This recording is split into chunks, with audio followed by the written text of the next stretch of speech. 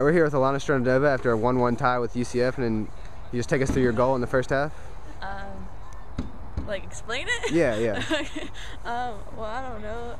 Cristobal got the ball, headed it across the across the goal, and I just try to finish it, make sure to get my head on it. UCF being a nationally ranked team and a conference opponent, where do you do you use this as a learning experience for the rest of the season? Yeah, we need to make sure that we we play the whole 90 minutes, and even until the last minute where they like scored, we need to keep pushing and defending so that we don't have to go into overtime anymore and we can win the game. Thank you.